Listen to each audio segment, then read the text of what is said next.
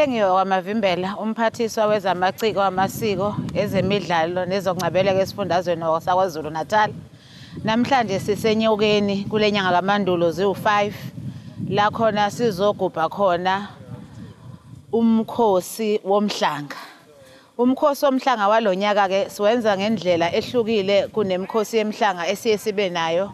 La khona esiye sibone iy'nkulungwane zamatshitshi ney'ntombi ey'qhamuka kulo lonke izwe ikakhulukazi esifundazweni sakithi kwaZulu Natal eza kongangezwe lakhe ukuletha umhlango okuyuphawu lokukhuleka nokuhlonipha ubuntombi nokuziphatha kahle kwabo ngenxa ye-COVID-19 okwenzekile-ke kulo mkhosi walonyaka siye savumelana nendlunkulu ukuthi ngoba lolu suku lubalulekile ikakhulukazi kubantwana bethu ukuzigqaja ngobubona nokukhuliseka ngendlela eyiyona yona baze bafike esigabeni labazali bababusisa khona ukuthi sebengahamba bayokwakha imizi.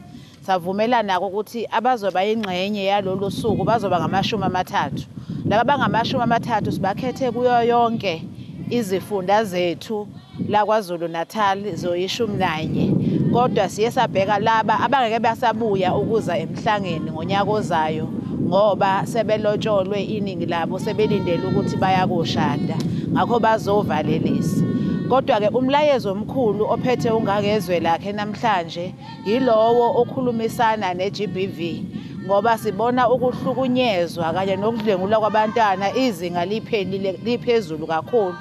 Sihlaselwe yubhubhano le-covid sihlaselwe ukuthi abantu bayabulawa. Ngakho-ke isilo sithela sizozokhuleka nalaba bantu abasha ukukhumbula lolu suku lomhlanga. Sibe sikhulekela ukuthi abantu besifazane abangadlwengulwa abangabulawa. Ngoba siyisizwe siyadingana ukuthi sivikeleke siphephe. Vamos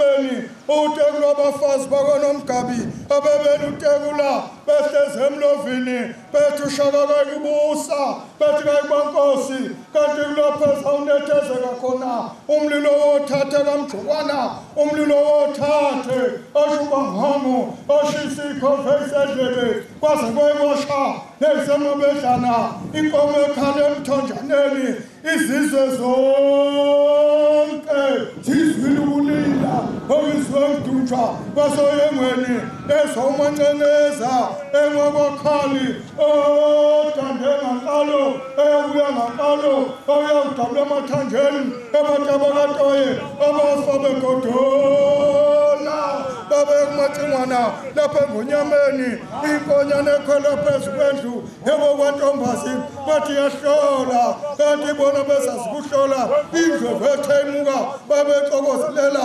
abakwalanga indlovu ebuyisinhloko ezamadoda uzishandlondlo.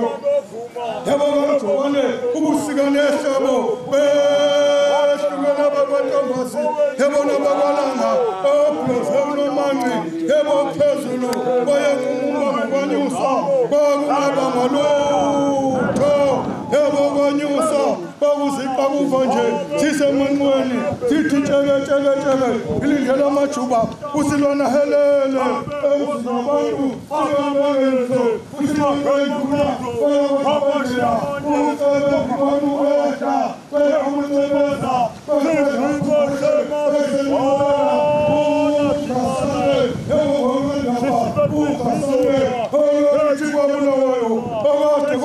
basela ibize amadoda lugasela uphungashe bezala kwabuthelezi bezonda bomthando womthando ehlezibandla lugasela unceba bobambukane lugasela ufawu emampondweni lugasela ugabushe emampondweni lugasela uzwide ezolabala lugasela umancimana emasengqonyameni ilanga eliphandelinye ebabemsele ebabeliphanda elisemthandeni iyethi lendaba ejame no the purpose from the Vumu, the monk on the Saba, the Wekela, the Boka the Anibo Fabu, Seasoning Am Tiki, the Wamkalandaba, the Tumanim Titile, the Titu Puma, the Titu Makeba, Usiba Kojela, Haleben Anka, Kojela Jalo, Tuzamatota, Namatochiana, Titabe Mohakalam Tabana, Ebina Kimsa Bakomo, Ebi Kimsa Bakomo, Ebi Kimsa Bakomo, Kobolo, there's a thunder, Oyo Papeli Sikoku, who is Pedro, who Sinera Sutuba, Epapamana, Unyamana Batu, Epapamana Nuku, never say pain, never say fire, oh, thank you, that's all it, Epapamana Kimasone, Epapamana Kamayana, Epapamana Sugo, Epapamana Kamayana, Oh, Ulema Lampa, Esingi Sito, Zialana Satobosa, Ilomeka, kwantambo yayo kalakulango wayewakomlambo abadala bodwa abazibelekela ududodana limkhandelisile wewakha amathuba azothukela lapho uzakhonisile omowane umaswezisela wakithi kwakunaboyo usezisele uzide amagqanqula thina ngeke sikhonze kwaso endaba yempiso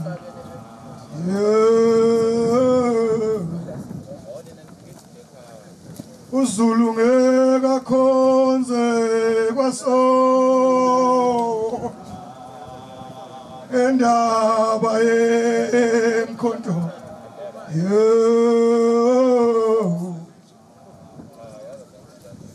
Uthi singakhonza le kwasosha. Singakhonzele izwe lethu.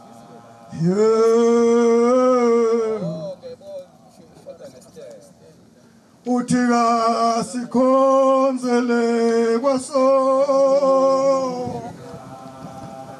ngendaba yempizweni Yeah.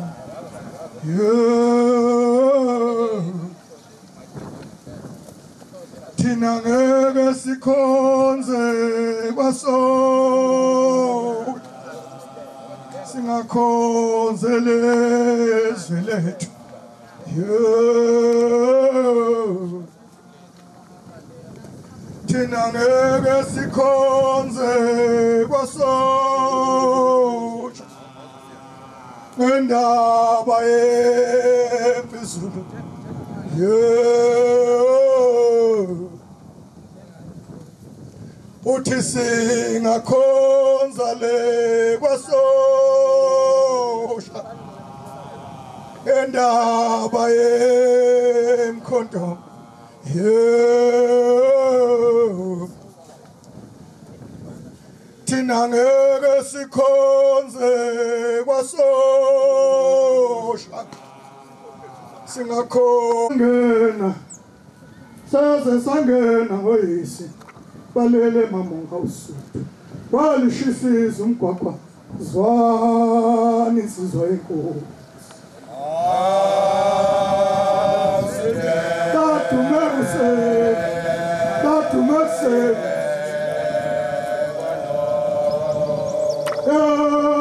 Sangreiro.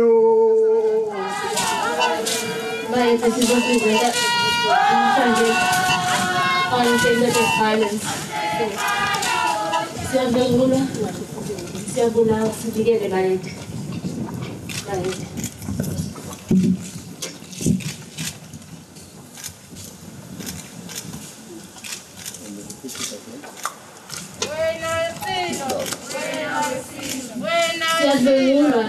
Siyabulawa, sivikele bayethi.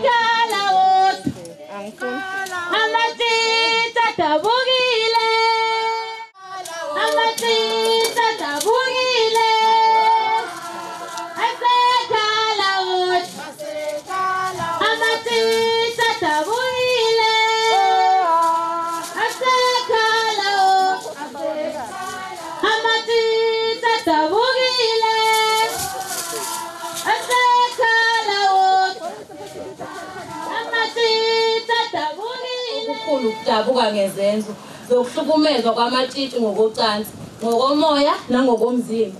Zokubulawa nokuhlukunyezwa kwabantu besifazane nezingane. Phansi ngokuhlukumezwa kwabantu besifazane phansi. Phansi ngoku- ngokucwaswa kwabantu besifazane phansi. Phansi ngokudlwengulwa kwabantu besifazane phansi. Sikhuleka kuwe bayede ukuthi asikhuzele lo mhlola asivikele njengezingane zakhe. Wena wesilo wena wesilo ndaba ezitha ndaba ezitha lesikolo ngunomnyama. Undlunkulu wasesigodlweni enyokeni. Abantwana basendlunkulu amazinyane esilo mhlonishwa osiphathele indaba zezemidlalo nezokungcebeleka kulesi sifundazwe sakithi kwaZulu Natal sifisa ukuqala ngokudlulisa ukuthokoza okukhulu ukuba ube khona nenhloko yomnyango. Ukulekelela ngaso sonke isikhathi imisebenzi yesilo ukuba ikwazi ukuba impumelelo ngendlela efanele. Lokho kukodwa kukhombisa ukuqonda ukuthi uhulumeni enikuwo uhulumeni wengonyama kulesi sifundazwe. Sifisa ukudlulisa ukuthokoza kwethu kubo bonke abahambele lo mkhosi ikakhulu intombi imbali zesizwe. Hlangalezwe kuyintokozo enkulu ikakhulu esigabeni sethu njengendlu yobukhosi. Ukuhlala ngaso sonke isikhathi silwesikhulu ukuqinisekisa ukuthi uholo lwengonyama ikakhulu esigabeni samasiko amagugu imvelaphi umlando. Ngaso sonke isikhathi lokhu kubaluleke kakhulu kithi ngoba yiko okwenza isizwe sikwazi ukuthi siphile. Sikhuluma nje silwe sikhulu even ukuhlonishwa kolimi kulesi sifundazwe kungenxa yeqhaza lengonyama usuku ke lwesilo lolu lapho ingonyama izokhuluma khona nesizwe ikakhulu silwe sikhulu sifisa ukudlulisa ukushweleza okukhulu. Ngaleli chilo hlangalezwe elenzeka lapha endaweni yasemthwalumi indawo yasemakhaya leya ngaphansi kwenkosi ehloniphekile inkosi uLthuli kodwa ichilo elenzeke khona silwesikhulu lisithela ngamahlazo. Lenza sibe namahloni silwesikhulu ukuthi uma kukwazi ukuba nezinto ezifana nalezi zenzeka endaweni esemakhaya insizwa sezashonaphi okwakuthi kungafikanga ngisho iphoyisa kodwa sibese zimqoqile umuntu.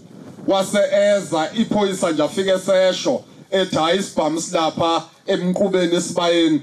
Kukhomba ke ukuthi kusekukhulu hlangalezwe okufanele kwenziwe ukuqinisekisa ukuthi lesi simo naleli chilo into engayophinde izwakale into engayophinde ibonakale kulesi sifundazwe. Sivumelene silwesikhulu njengamakhosi kulesi sifundazwe.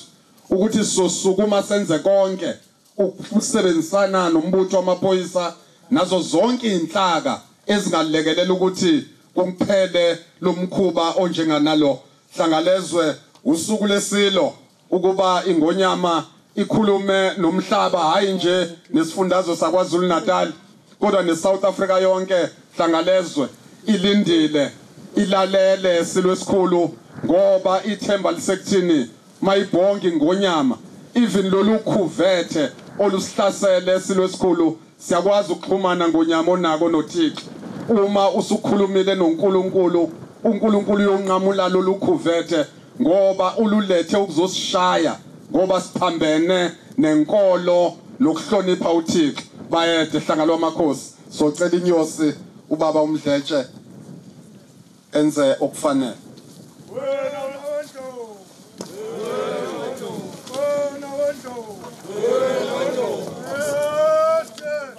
Ha! Babate tutitini yadu ho Babate tosini yadu tipiga Babate tosini Edu babana na batuzayo Babate tosini Belege onga komande mande kalimayo Onga tibedongi na bakwatulu Umpango bine belelayo Umkudula tishela Tati pege chengene Sikuma baguswe Sikuma kaukulume Tebo kauna mlomo Kaushengo shotwane Kona viti kwa bulawayo Kona vetu muse Tebo ngongekeza ngonkekeza omebezamandolo umnyama yobuthi usomzondwa sabakhula bemzonda njengesichumo senyamazane sathi safa besizonda ngamehlo bazosasimba mzanto omnyama ukuzikhomba amangwane luthole zodla wena zonke zobola amakhanda phakathi omnyama osabekayo nesibindi obuye wadlaba kwabo womuthi umhlangano yebo koba kwabo yadukuze ezindlovu obezakakanganana yebo kwaba kandaba bomphathe mlende waphelele ezandleni kade umbopho kasithaye udabula amanzi kwavela udaka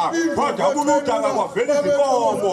Baqale yakhula leyophathela kwabo udladla makithi kwamajola idladla ngakithi emvukundlovu inkona evele ngempoto kwelasematuwane edleza oguluzana yadleza umanaba. Ishaya izinge phesha kwempofana kwasamela usithuli kwasamela usithunywa wathi shayelezo ngezelongwe ìgbà ìdókè tó ṣe yàrá ìjẹ kòmó tó fò mú pàtó lọ́jọ́ òfò mẹ́síkà ẹ̀ mẹ́síkà ẹ̀ màkàlà náà sọ fásitì yẹn bá ìjàmbá tí ó ti lò kásá àmà ẹ̀fù ní ọmọ náà jẹ̀lá bẹ́ẹ̀ ṣẹ́ ẹ̀ la àmọ́ fún àtàlà fún àtàlà ṣẹ́ ẹ̀ la sínú àdètò nílẹ̀ wọ́n ká mẹ́lẹ̀ yàrá tẹ̀ mí wọ̀ ẹ̀lẹ̀ yàrá tún náà wù fà yàrá kó fẹ́ mẹ́lẹ̀ yàrá yíra fẹ́ yàrá tún náà tà dọ̀ yàrá tó tàkà fẹ́lẹ̀ yàrá kó yíra fẹ́ yàrá tún náà tì nebhuti sisila sizalo lwebulelisa singena kulo. Ekhubale bhetangwena bakhambika sahloboso wamakhwatha muduma kwezulu.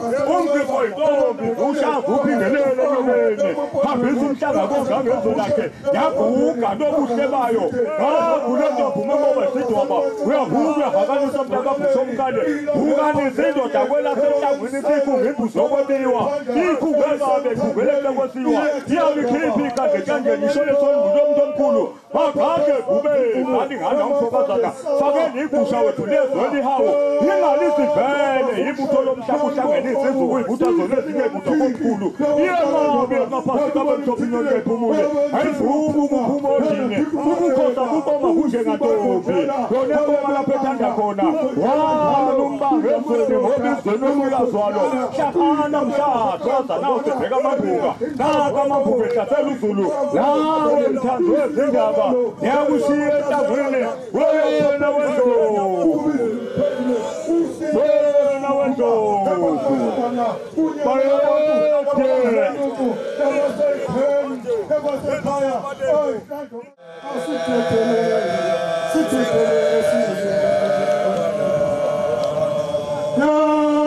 Khulu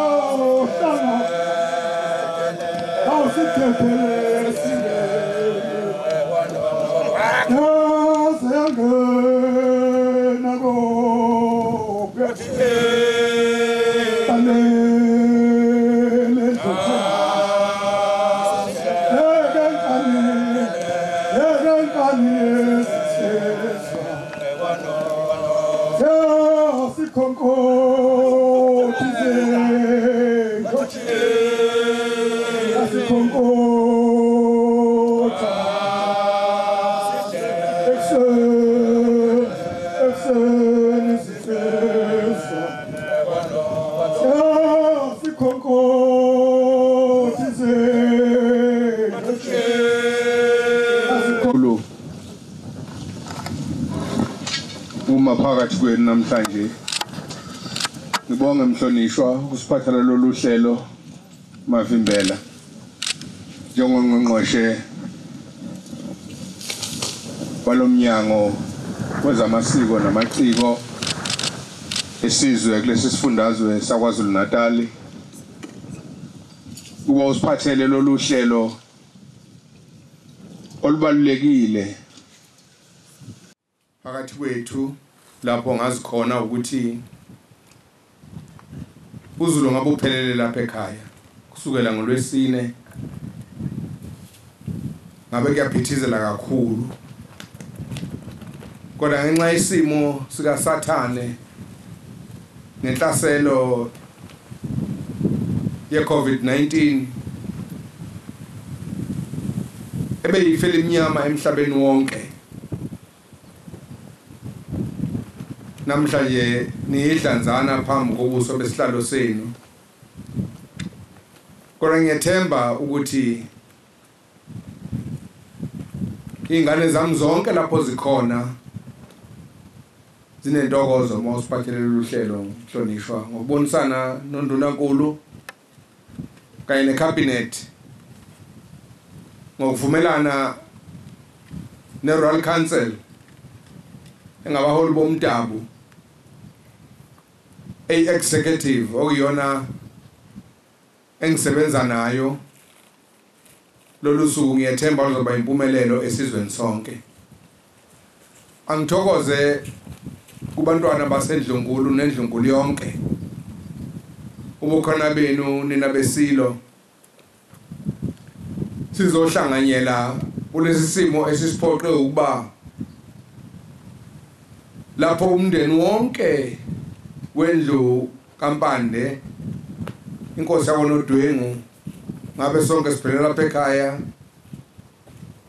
uzojabula kepha kusiphoqile ukuba sibe ingcosana esikhona uzokhumbula lolu suku engaliqala ngonyaka ka1984 oselisabalele nomhlaba wonke. Angithokoze madungeni. Ubukhona bakho urepresente zonke izinsizwa zami zomdabu ezingiphathele intaba nalezi ingane ezilapha namhlanje. Engibone kufanele ukuthi lezi ngane zize zizomelela zonke izintombi zakwaZulu. Zihlangene nabantu abami abayiholayo. Kuba lo mcimbi emehlweni kaNkuluNkulu nasemehlweni amakhosi amadala angizalayo asalala abone ukuthi lo mcimbi noma ngabe iCovid-19 ikhona kepha basikhulekele nakumveli nqanga ukuthi sihlangana hayi ngokwentando yethu ngalolu hlobo le-social distance. Kodwa kungenxa yesimo esihlasele umhlaba wethu. Ngiyafisa ukuba ngidlulise ukubonga kakhulu naseyisebenzini zikahulumeni eminyangweni wakho mavimbela. Uma zibambisane nomnyango wakho njengowuphethe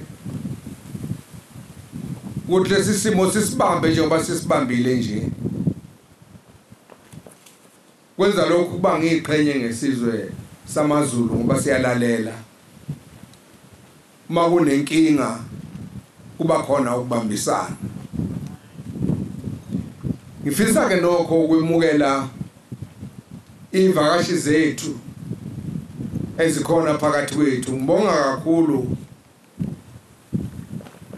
ukuthi kanidlubulunelanga Zulu.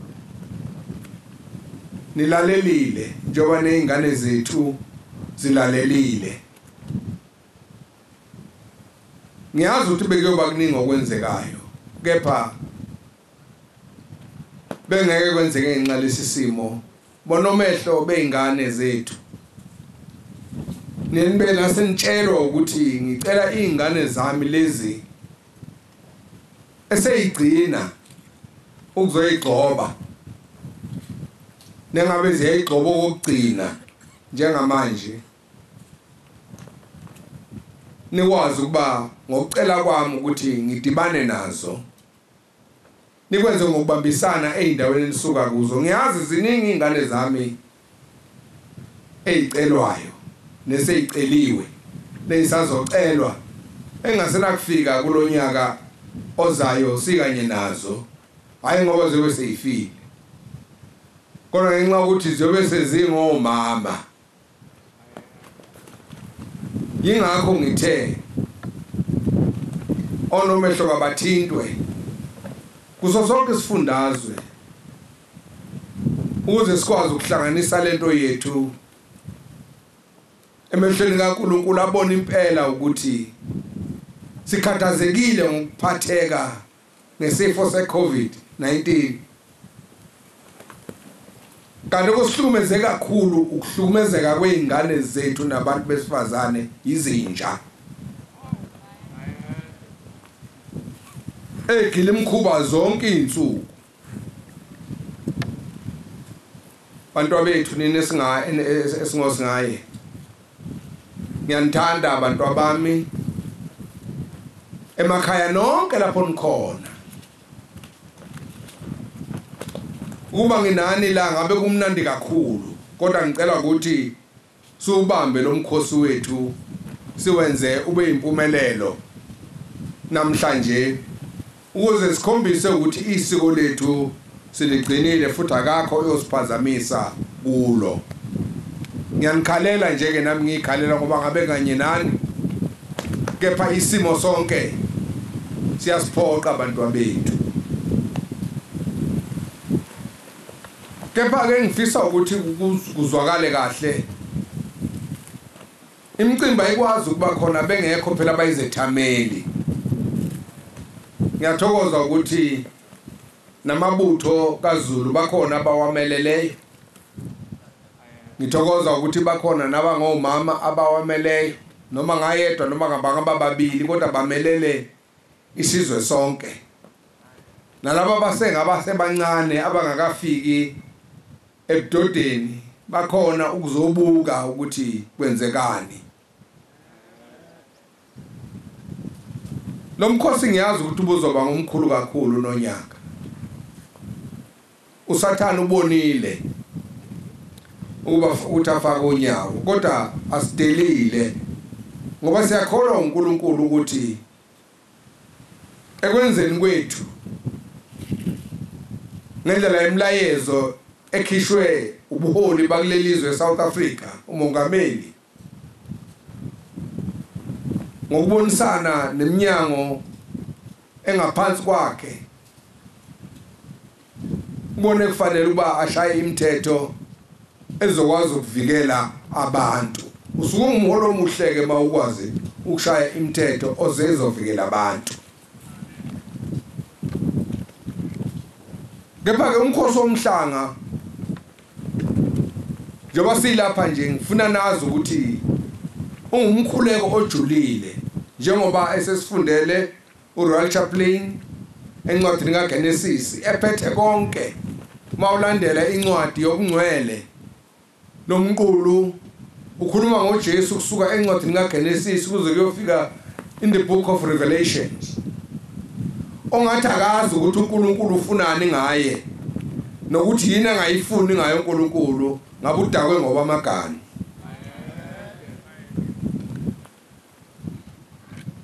ngawo umkhosi lona isizwe siyavuselelwa and siyavuseleleka. Futhi siyaqinisekiswa ngekusasa njengoba sazi ukuthi ikusasa lethu njengesizwe lisezandleni zethu. Lona kuona umkhosi womzimba njengabanye aba- abanye abanye abantu basuke becabanga ukuthi lo mkhosi ukukhombisa njengemzimba. Njengoba abanye bekhuluma ngokungazi kufanele sibafundise ukuthi ubungcwele bomuntu wesifazane busekuyiphatheni.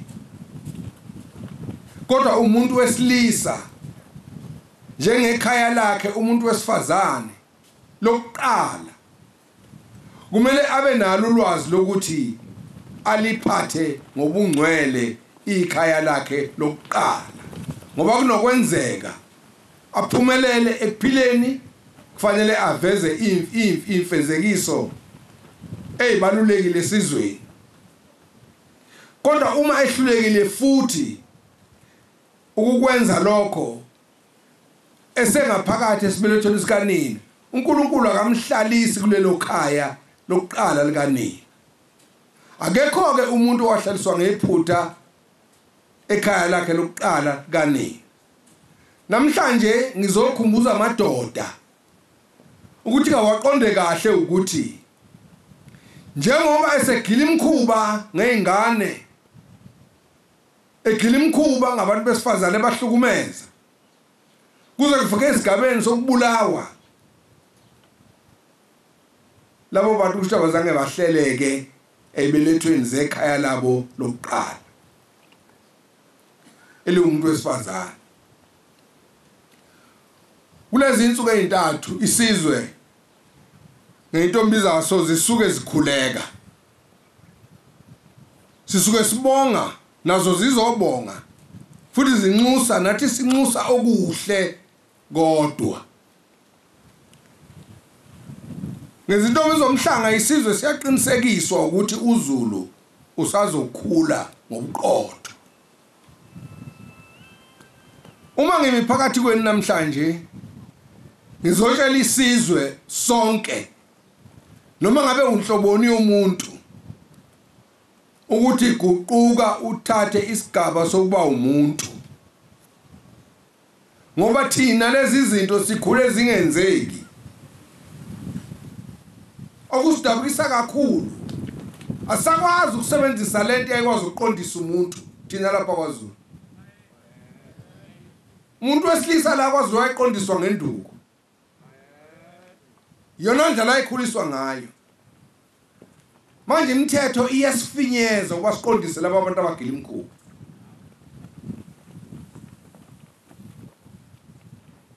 lemthetho igangi seziyithathe zayenza ihlaya lazo ngendlela ezivikeleka ngayo ngasohlelweni lukahulumeni. Bayaboshwa. Kodwa ukuboshwa kwabo akuyisiza ingane esuke seyilinyaziwe ebuntwini bazo. Seyilahlekelwe nesithunzi sazo. Silahl- silahlwa ngamathimboxo nje.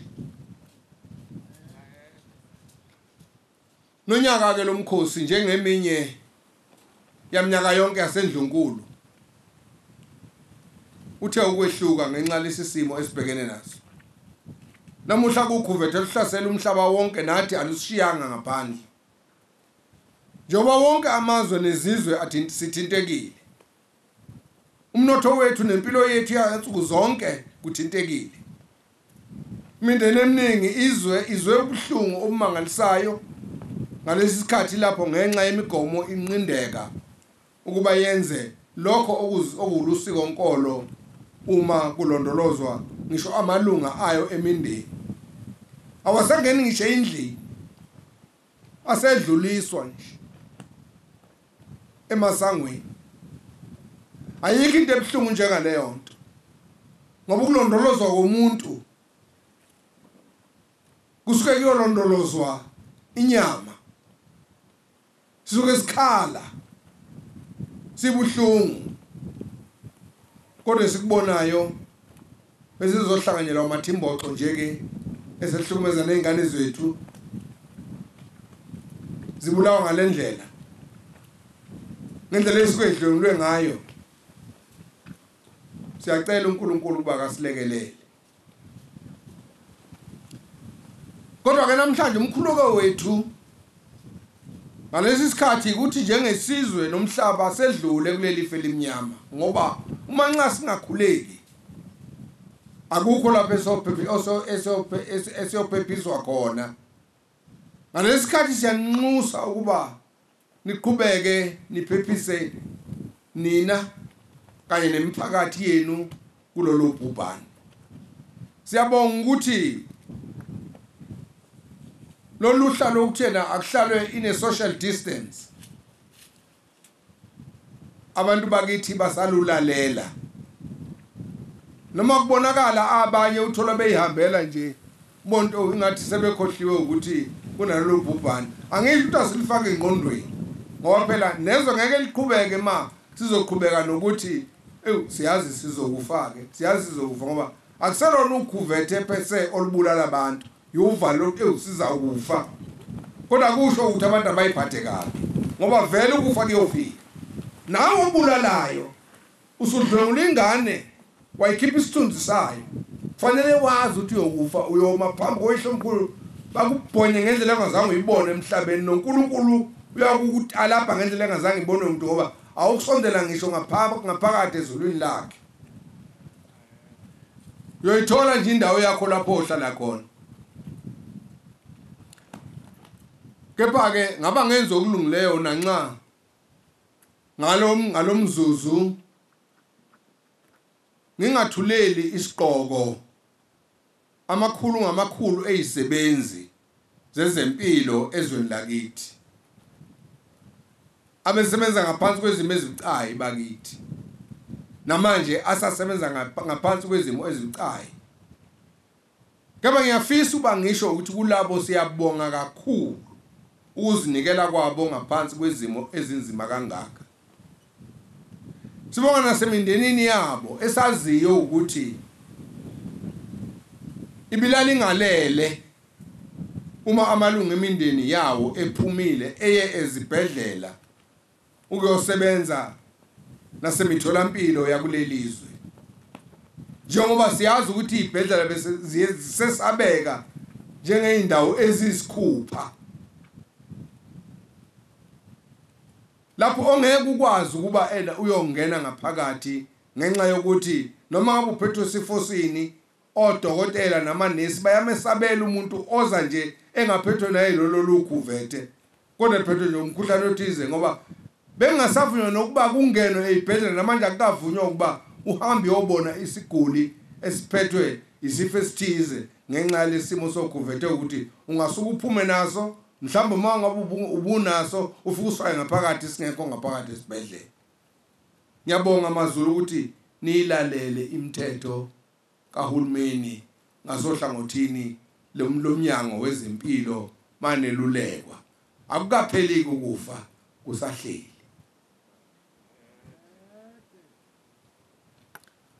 Kubalimi kumalimi babantu aba- aba- aba- aba- abamhlophe. Amandiya amakhaladi nakithi sinabantu abamnyama. Kuzisebenzi zasemaplazini siyabonga. Ngokuqhubeka nokukhiqiza ukudla okondla isizwe. Fanele nazi ukuthi nina niumgogodla wezwe. Ngani isizwe siyaphila? Ngalesi sikhathi kuhle umkhakha wezolimo uvikelwe. Wesekwe nangezimali ngoba umgogodla ngikusho lokhu ngazi kamhlophe ukuthi kunobuhlungu esibuzwa njalo lapho abalimi nezisebenzi bebulawa kulelizwe njengalento eyenzeke lapha na eNewcastle. Esicelayo ukuthi amaphoyisa awalilandele udaba ngoba siyakhuleka batholakale laba bantu. Ngoba kunokwenzeka sisole abantu okungafanele ngabe siyabasola mhlambe sisole abantu okuyibona ngabe sifanele ukubasola uthola ukuthi khona abantu abacashile esingabazi mhlawumbe abangekho kulelizwe kodwa abazodala inkinga ezweni lethu ukuze kubukeke ukuthi thina ngoba sisangena kuloluhla lwedemocracy. Eba uguquguquka kwesimo sokuphatha bese bethi abanye awuthi sibaxove. Ngisho lokhu ngikubhekisa kakhulukazi emingceleni yezwe lethu. Ngoba ama-fingerprints makwenzeka izinto ayilandeleka kuqala abantu basheshe babanjwe. Okunjani lokhu kuba ama-fingerprints abantu bese ngathi adukile? Abaziwa abanikazi bawo. Kusho ukuthi kungenzeka ukuba kusibona abalelizwe. Lolu daba ngibona ukuthi kumele silubuke ngey'buko zepolitiki nobuhlanga ngoba umlimi kakhiqizeli iqembu elithize kepha ukhiqizela isizwe sonke. Ngakho kwenzeka kubalimi nezisebenzi zasemaplazini kumele kusikhathaze. Hayi njengamaqembu noma umphakathi othize kepha kumele sikhathazeke njengesizwe esizothinteka uma sekuphazamiseka ukukhiqizwa kokudla. Nibonile makuqala isimo se-lockdown.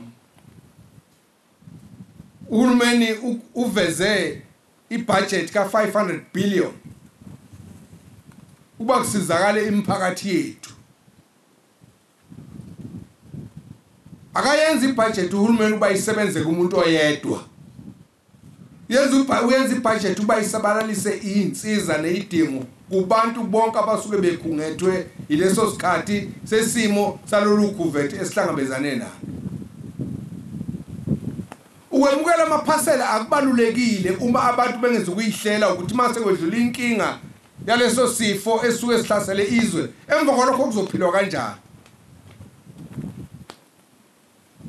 Kumele izinto zihlelele isimo sokuthi abantu bafunde ukuzenzela. Ukuze uhulumeni angahlali ewumthwali. Wabantu abangahlelekile. Bangajatshuyiswa abantu yinto esikhashana ekhiqizwa ngabanye abantu nabo abangakwenza bakukhiqize bakuthengisele uhulumeni bakwazi ukuthola imali. Khuluma kahle lokhu isikhathi sakho masiqonda ukuphephisa izwe lethu balingafundi ukufunzwa kwesikhashana. Bacabanga ukuthi nakusasa bazobe befunzwe njalo ngibheke mina ukuba makufundiswe abantu kulesi sikhathi ukuba ukuqhubeka kwempilo kuya phambili. I-covid le isiyawuhlala ingumkhuhlane. Hayi ukuthi izophela manje njengoba kuthiwa hayi ngase kube ngconywana nge- ngonyaka ozayo izobe isekhona. Kodwa iqiniso lithi kusazodlula kuye phambili isiyohlala ingumkhuhlane. Izofica abantu abangamavili abaphakelwayo. Uhulumeni ngifuna nazi ukuthi yini? Yinini uhulumeni? Kungcono kabe ukubhikisha kwabantu bethi uhulumeni sinikeze imali sihambe siyolima. Kunoba bhikishe bashisa amathayi emgwaqeni babeka amatshe bawize wonke amafucufucu babulala amabhodlela. Okuhamba khona ngisho nomkabo ney'ngane zabo seyiphuthunjiswe ey'ndaweni ey'thize. Amathaya bhokozwe aphantshiswe ilezi zinto ey'fakwe emgwaqeni. Ungazi ukuthi yini e- elimaza imoto yakho umntanakho ungakho uyihlo unyoko. Uyezwa kuthiwa imoto isiphendukile. Phendulwe yini? Yibhodlela ebikade libekwe emgwaqeni nazo zonke iy'nsimbi ey'khona emgwaqeni. Imigwaqo yethu igugile igugiswa ngabantu. Angazi ukuthi lokho kusiza kangakanani ngoba ezokuphepha kusuka kumaphoyisa komasipala I mean kamasipala abe South African Service I mean African Police Service kanye nabo be South African National Defence Force.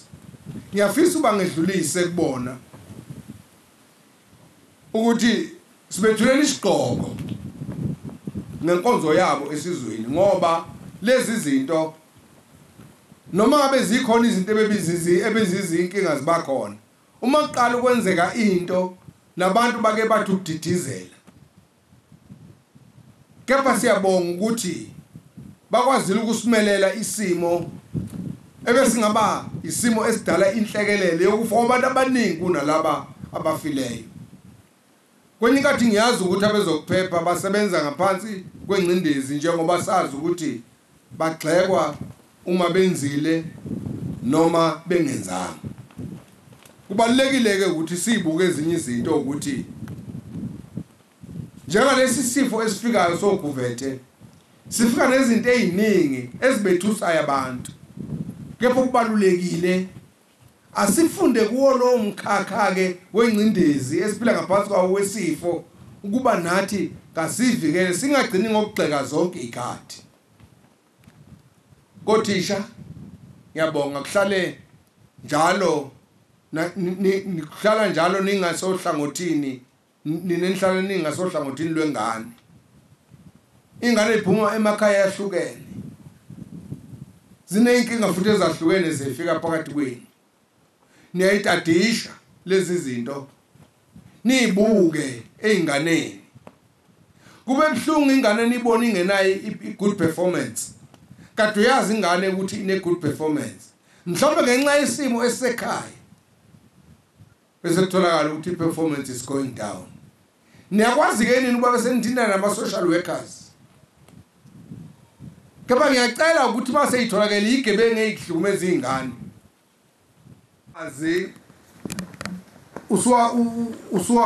usuwamukelwa njengesinye seyixazululo empini yokuvikela isifo sengculazi.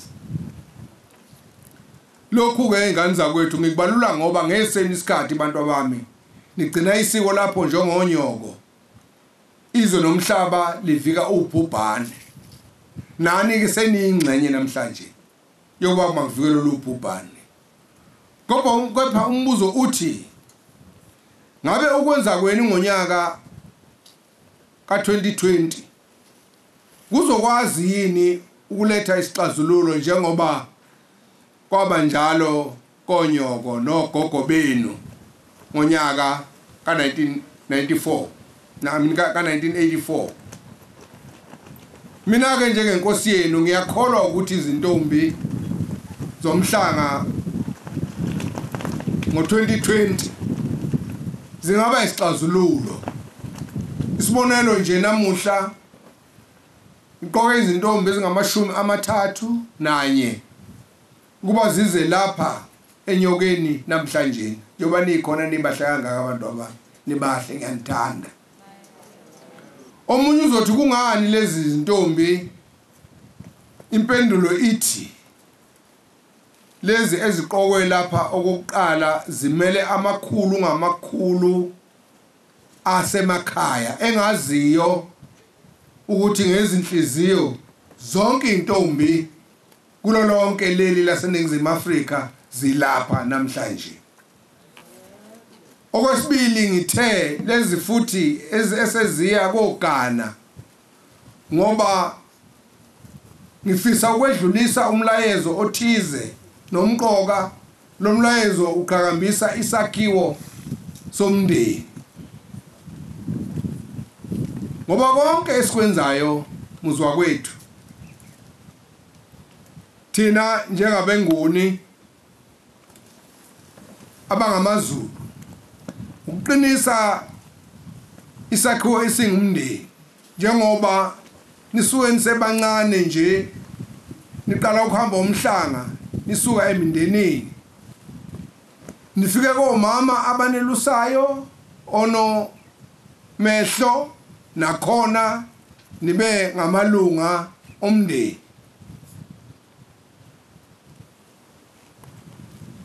Umndeni wentombi zomhlanga bese kuthi uma senilapha enyokeni bese niba ngamalungu omndeni omkhulu wasendlunkulu yenu.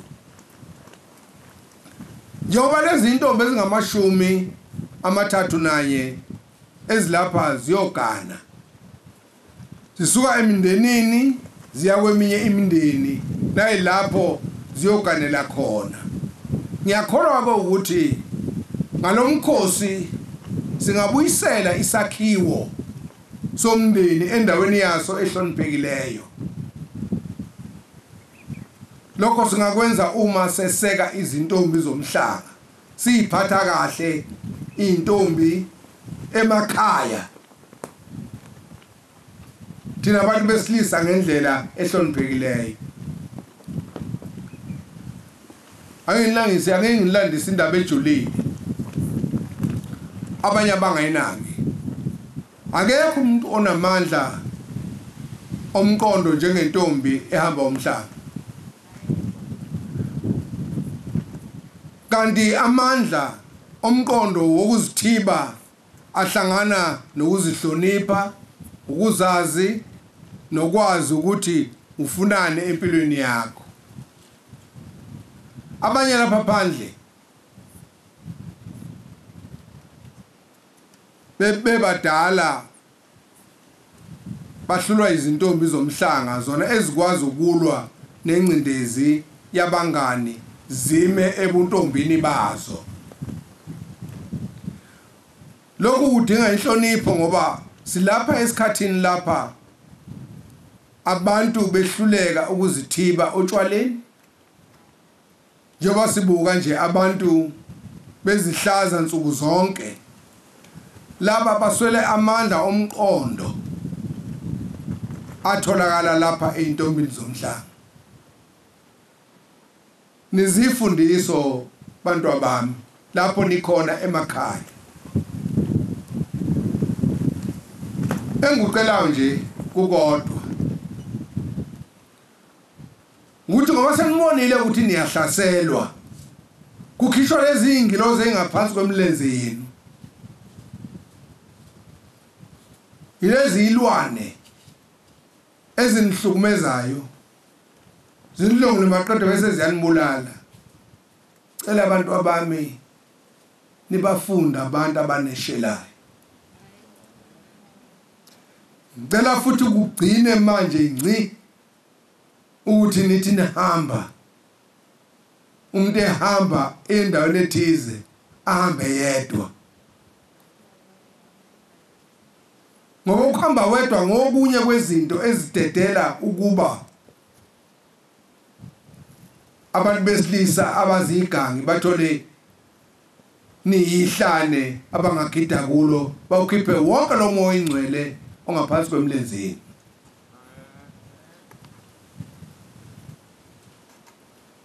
Ngakho ke njengoba laba bezovalelisa kwabo kuyise nendlunkulu yonke. Naseyibukeleni zonke ihlale ifika lapha eziqhamuka kwiningizimu Afrika yonke nezibuya eAfrika yonke. Njengoba ngonyaka odlule bekukhona ngisho abaseSomalia bekukhona abaseNigeria kukhona abase-Uganda beqhamuka ey'ndaweni kukhona nabaqhamuka eZimbabwe. Bonke ngithi mina nizovalelisa kubo ngoba mhlawumbe nina senothetha isigaba sokuba ngonomehlo abasha. Fanele nibugcine ubuntombi benu nikwazi ukuthi niqhube lo msebenzi kade wenziwa ngonomehlo ngoba ngelinye ilanga abakuhlala bonke bela. Yinina enoba ngonomehlo kusasa. Ukuze sibe ney'ntombi ezinobungcwele ezweni lethu. Ngakho-ke uma nxa njengoyihlo nenkosi yenu nonke neningekho lapha nina eniyogana ngiyanikhulula ngithi nihambe kahle abantu abami. Nisikhonzele niyokhonzela oyihlo nemindeni yenu ukwakha ubuhlobo esizweni nasemindenini yenu.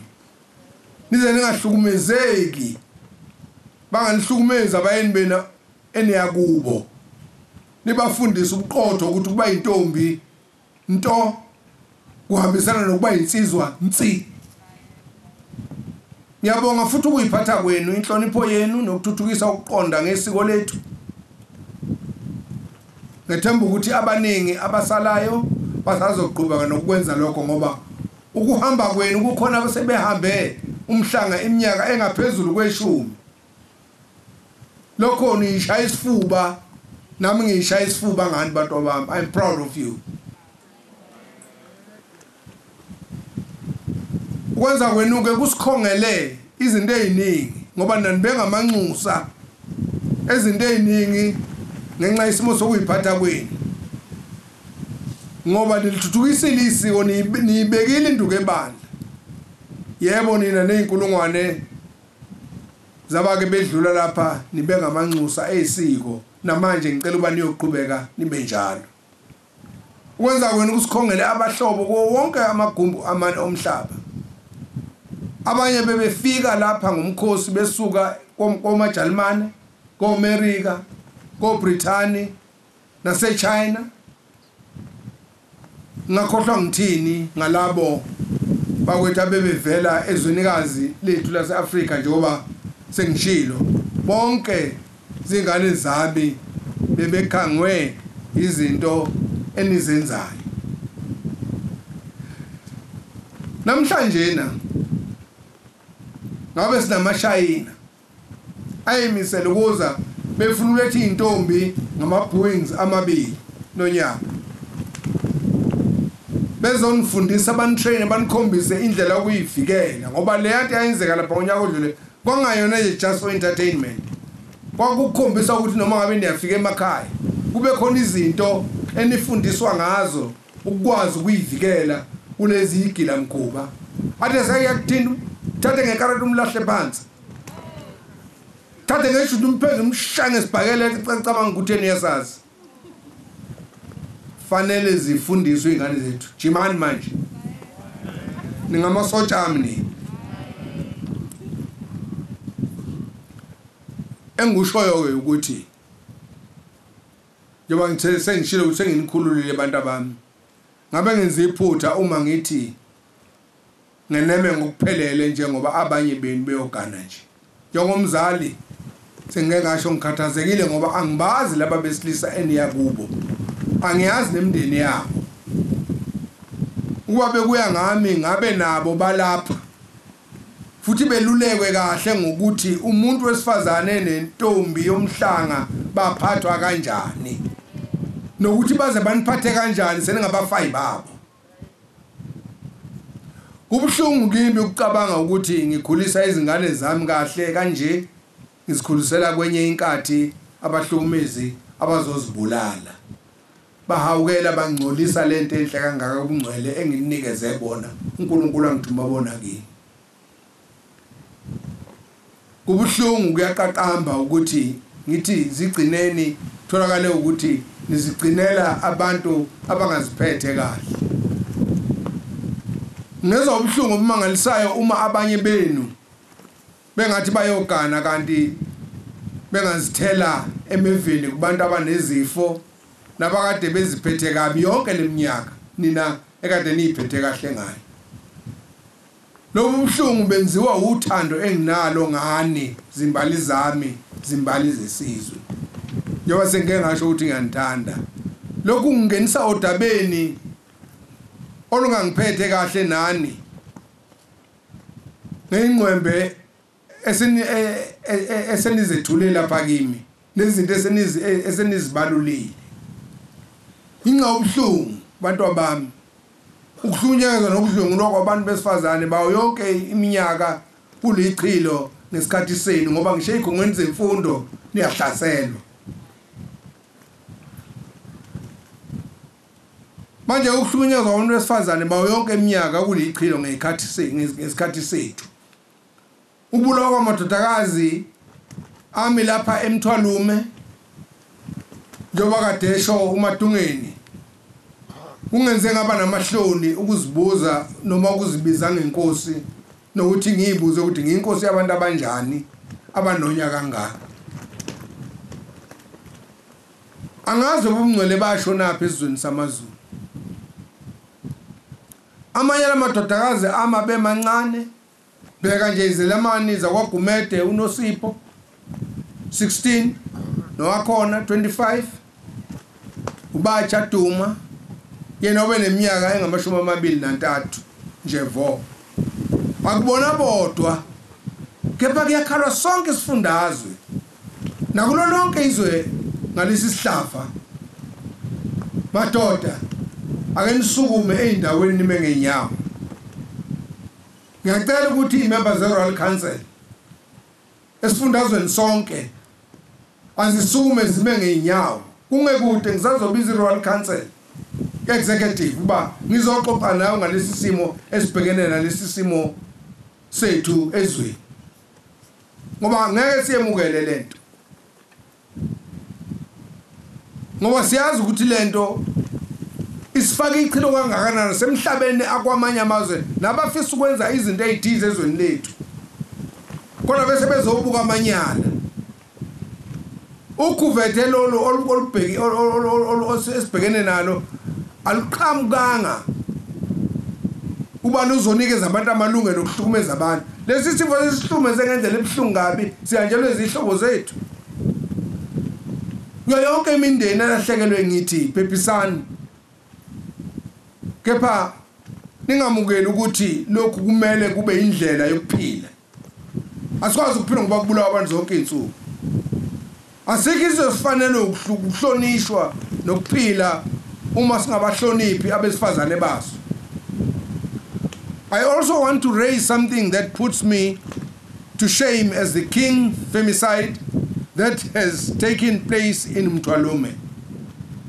Among the women who were killed are young girls like Nosipo Kumete, who was only 16 years old, Akona and Tumi- Duma, both of whom were only 25 years old. I offer sincerity, sincerest condolences to the bereaved families, but we must not take this as a, a norm because no nation that allows the killing of women deserves respect. Ngisasho njalo ke amazulu amahle. Ngifunga inkosi cetshwayo lapha nenkandla ukuthi abukho ubukhosi obumele okumele uhlonishwe uma kungasho lutho ngokuhlukunyezwa kwabesifazane nezingane kwisicelo sami bangikusho lokho ngiyamangala ukuthi kwenzekani? Uthi yena lapha ekhona inkosi cetshwa uthini mezwa lemkhuba na wonke amakhosi akwazulu akhona?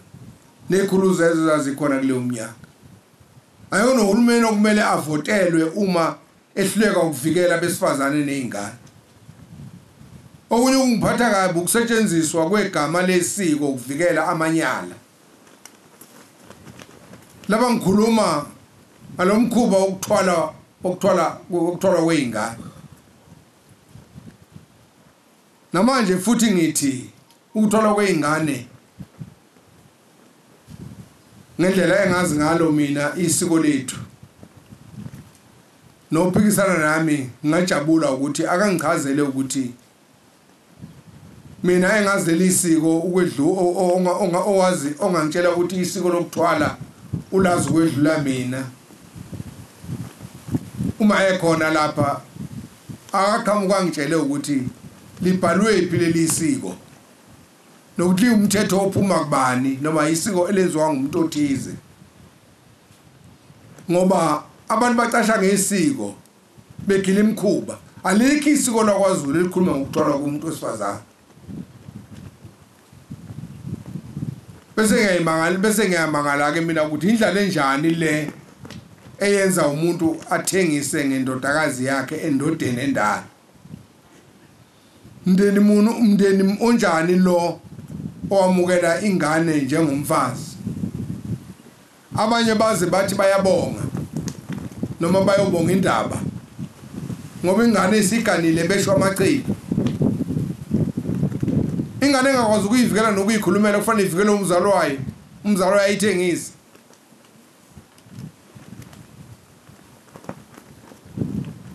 Yingakho-ke ngithi mina sesithenwa yikho ukuthi sihloniphe imithetho le ekhona. Mina nje njengami nguzwe lithini angazi ukuthi bengizoyithela kubo mina abadlwenguli laba kuthule du ngoba bafuna ukushaywa. Asizobuswa imgodoyi lapha uthulwe bese kuthiwa inamalungelo. Uhulumeni akayena uhulumeni omalungelo obubi. Uhulumeni wase-south africa. Uhulumeni omalungelo amahle. Hhayi amalungelo amabi. Kuthi uma inja le isiboshiwe bese iphenduka ivaka iz- izikhunge khona ejele iy'bulala ngoba isaba ukubhekana namacalayo ngangcono uba bakathi ba- ba- ba- bathi ukubayeka nje ngababe phakathi kwethu. Kanti siyawuxoxa nabo. Ingaphelwa lento nje ngelanga elilodwa. Umbuzo kuthiwa uthi apha amadoda kwaZulu selingabuswa ngamathimboxo nje lona leli likamthaniya kuthulwe nje kuthiwe du. Ngoba ngisho ukuthi ake nginikwe noma isonto nje isonto nje ke ngithi kulibheka leli. Bese nibe niyithathela ke ngoba vele niyiphathele. Kukhona izinto engalunga njengoba ngayilungisa nje ngeyinsizwa nje zami. Singalibangula kalula nje leliva kuthule ukuthi nje du. Mhlawumbe mina ngicabanga ukuthi kuyadlalwa. Ayikho into ebuhlungu njengokuba iy'gebengu zivikelwe nawo umthetho igila imkhuba ngawo iy'ngane zami njengabantu besifazane baseningizimu afrika. Kufuna nazi ukuthi nginani nonke lapho nikhona.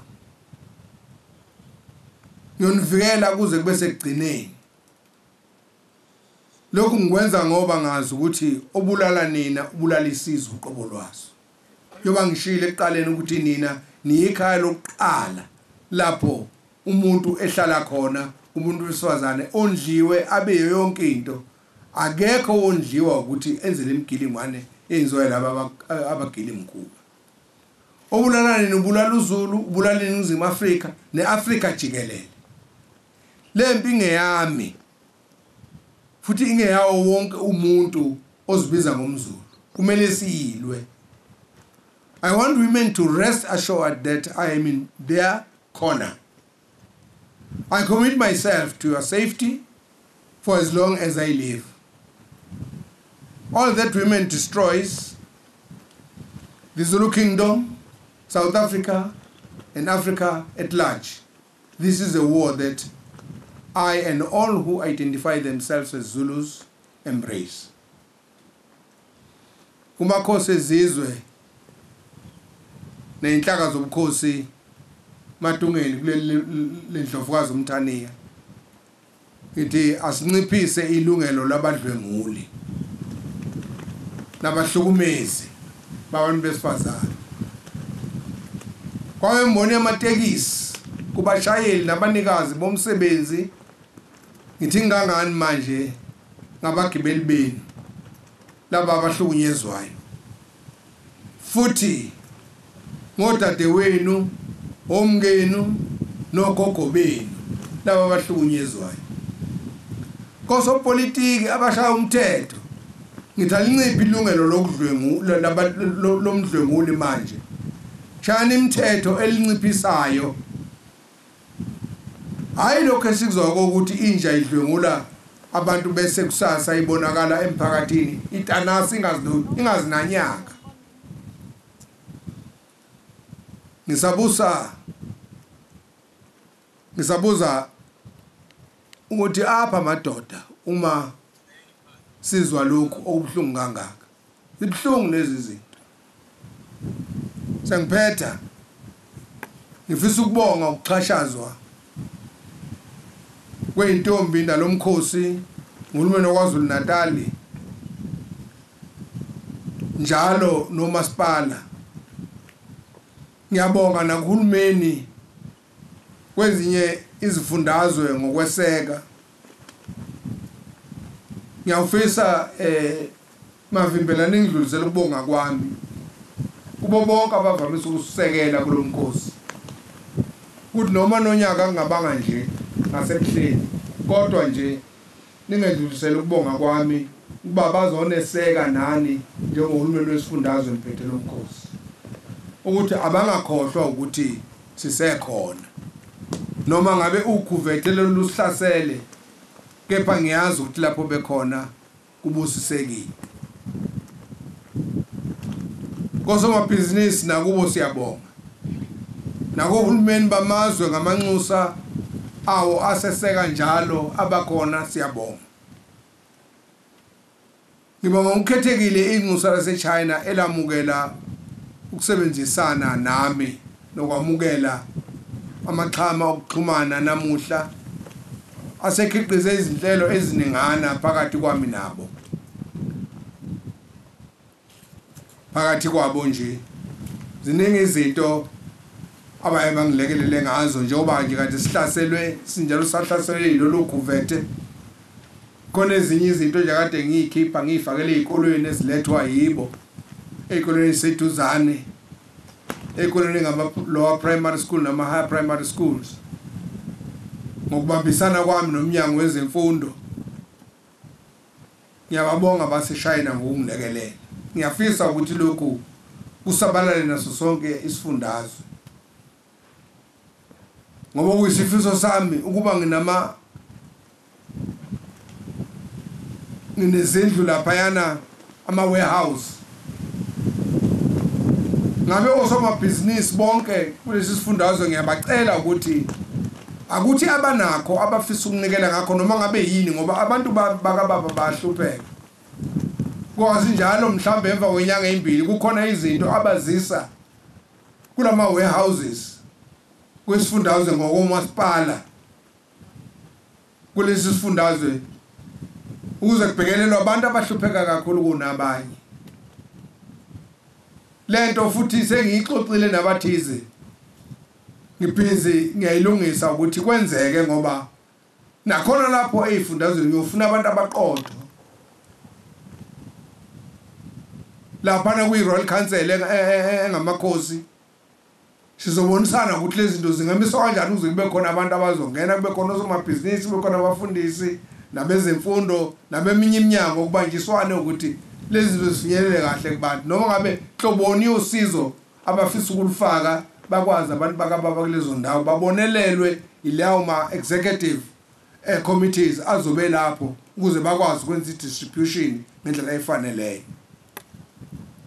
Ezinye zezinto-ke engiyibongayo ekwenzeni eh kwesiqalo sabase-china njengoba kwaba khona okwenzekayo ngo-2017 phakathi kwami nabo kwakhona izulu chinese culture eyakhiwa siyilaphana e-empara palace hotel lapho kukhona amashayina eqhamuka umhlaba wonke la ezodisplaya namabutho ayekhona eh nesiphithiphithi esasikhona kusherishwa inkundla lapho yokukhombisa ukubambana ngoba masingakwazi ukuhlala ngaphansi kwesiko ayikwazi izinto kwenzeka ngalamagama amafishane Zulu ngithuluza balazo esibhekene nawo wokhuvethe elumkhuhlane nokhuvethe lokuhlukunyezwa kwabesifazane. Kokubili lokukhomba inhlekelele okumele sibhekane nayo ngqo. uZulu usuphakathi kwalempi. Kulempi ngimema nezinye izizwe. Ukuthi zingenelele zisikakise lo monakalo obhokekile ilizwe lethu. Ngiyafisa ke ukuthi ngingakaqedi ngoba izingane zami lezi bengiyicedi ebengiyicelile ukuthi zibe khona engazi seyifike esigabeni sokubona odali bazo. Ebathandayo kunezipho ebengitheke cha ngoba bayazi ukuthi mangabe kuyisonto kuyakube nalomcimbi eh abasuke be computer kuwona eh bese bevalelisa sebehamba. Namhlanje lo nalo uzothola okwakhe lokho okuzomthokozisa. Ngiyathokoza uNkulunkulu anibusise nginifisela eh ukubhala okuhle kumatikuletsheni noma izimo ngenxa yesimo sokhuvethe kube nomonakalo omkhulu ukushintsha-shintsha ukuvulwa kwey'kole nokungavulwa. Kodwa qiniselani nje abantu abami uhulumeni uzamela nina niyiphathe kahle ningalwi nohulumeni bese lokhu kuvulwa ikole ivala ivulwa ivalwa kodwa nje asiqamekele ukuthi yonke into siyenza ngendlela ehloniphekile nezomukeleka embusweni wethu. Sizakhele ngoba yinini umbuso? uNkulunkulu anibusise. Noma senibuyele emakhaya nginibonga nonke nihambe ngomsa ngiyabonga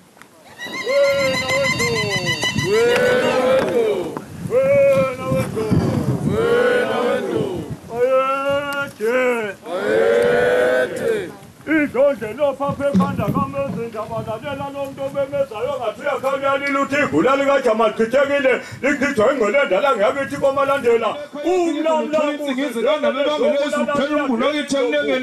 Itshe lahle phezulu kubenengeni labona ngothandwa labona ngamathembu onthandwe egudi belumomozelela kanti amathembu esandleni aselikhwezela ayeshawa isaselo senqawu zenkomo zenkosi. Silesimaphundu sibaphumulela sifane emvumu yakithi othukela yabuka izinkomanye ukubala yasibuka amadoda bamatheka unodina kabusa ubusa abadina bakuba uncwadi safika qala kube mgunguntlofu kwafulela ngebomshe ngegama lomzwa kube mgunguntlofu sife esikanda besibhabha amadoda. Nanamhlanje sewabhabhile unomfazi wemhlenge emlezi isigalu semthemkhulu emncane esala yiwela sinebathi basibone bashiya iphini sibake mgili bethu ezolomncangana kwathi umhlanga yedwa naselozibalekela ngoba bedlute abakulezala ugwazile kwamagwaza kwanquba phansi koduma abantu abakalutho kwathi mr moloni kwamhlofa abelungu kwamquba phansi koduma abantu abakalutho kuzethlwe ngodumo kithi emsizini yasengochester phelo chester bili urobeni salwakhalo wamhlofa abelungu kome zalwa ukwanda kithi kwazulu ngoba zalwa ngomashu zalwa ngorobenseli zalwa ngomfankambule sila basikhale endlini kuba kwayiphethe ongakhothi bondaba kwawukhuluma kwasendlu kukantuswa. Busha bukhalo busha amadoda uncwadi iphume emqulwini kokanini umathathela umngombothi wasenemthonjeni wembile. Abebethwasela phezu kwengoqongo ubuxhakaxhaka bemkhonto bawuxhasa ngamadanga wahle phekhula buzu sayitshele ngwasempangela wathi madanga bekwenze njani? Bantu sibhakela inkunzi akithi okomathini inkosana bekife nyova kubo kahle amahlahla wena wendlovu. Bayethe Igama lami ngudolo wamasango induna yeintombi zonke. Osukwini lanamhlanje siyabonga esileni ukuthi sizamile ukuthi sihlanganyele kanye nathi noma kunzima bekune corona kodwa sithi nakulabo abangezanga siyabonga ukuthi obekubalekile ukuthi sizwe amazwi esile besowandlulisela kuthina njengeyintombi nathi ke ebekusiletha la esigodlweni besocela emsilweni ukuthi sishwelezele kulokubulawa kwabantu besifazane okungaka osokwenzakele nalokho okungahlonipheki kangaka kwabantu besifazane. Nawo kamatshitshi ukudlulisa kukhona ey'ntombini ukuthi siyacela ukuthi nakuba kune-corona lokho akusho ukuthi abangayiphathi kahle. Abaqhubeke bey'phathe kahle beqhubeke bevalela umngcwele babo size sihlangane ngom- ngomhlanga olandelayo futhi bengayeki ukulandela i- ama-procedure lawo okulwa ne-corona manje nje siyacela kakhulu kubantu besilisa beyekele ukusibulala. Sicela abantu besilisa bebe amadoda. Amadoda avikela abantu besifazane. Ngiyakuphinda lokhu. Nabo abantu besifazane ngicela ukuthi bebe sey'ndaweni la babona khona ukuthi bavikelekile. Ungabi umuntu wesifazane oyedwa la kubonakala khona ukuthi abantu besilisa sebephelele unembeza. Siyacela ukuthi sivikeleke. Siyacela amadoda engasibulali. Bese siphakamisa ukuy'phatha kahle nakuba abantu besilisa nakuba abantu besifazane. Abantu besifazane abayeke ukufa egameni lothando. Igama lami ngubuhle bentombi ngisuka endaweni yasenkonzane esigodleni kakhangela. Um lolu suku lelo usuku olubaluleke kakhulu kuthina ngoba liyasigqugquzela ukuthi siyigcine ne- ney'ngane eziza ezize emva kwethu zikwazi ukubonela kuthina into enhle. Nje kuwusuku olisibusiso nje kuthina ngoba uyazi ukuthi intombazane kumele ihlale kanjani intombazane kumele ihlale njengentombi. Nalezi ntombi engwa- engakwazanga ukufika namhlanje sithi sikwazile ubamelela umcimbi wethu ubumuhle. Siyafisa ukuthi yena-ke nale gciwane um liphele siphinde sibonane ngonyaka ozayo. Ngiyabonga. Igama lami ngu-Aviwe ngwakajaji emzimkhulu endaweni ekuthiwa isechamtho. Ngithandile kube mnandi ukubala kwanongoma siyafundiswa ngokuthi sikhule siyimantombazane siziphethe kahle sizigcinile. Siyafundiswa futhi ngokuthi abafana ba- si- singadlali abafana. Um siyacela futhi ebafaneni abasihlukumezayo nabafana abarephayo bathatha ubuntombi bethu kungavumelekile. Siyacela basihloniphe kakhulu akuvumelekanga lokho. Sithi stop gender violence. Mayek. Isilo njengamanje sesiyakhipha siyahlomula igama le-district ezobe iphelezela umntwana. Ngonyaka ozayo ngoba isilo bese sichazile. Sesikhiphile igama.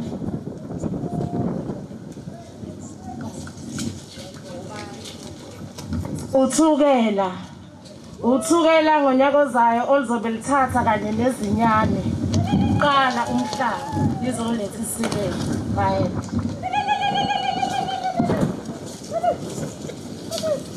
Siyathokoza hlanga lomhlabathi inkulumo enohlonze osusinikeze yona.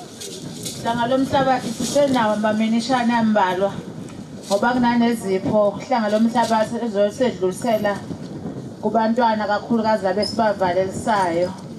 Kodwa bekungafanele ukwenanela inkulumo ngoba ngeke bekwazi ukuzomala ngaphambili. Bayibongele bekwazi ukuba nje ne ube lodwa abalishoyo abantwana ikakhulukazi Yeah.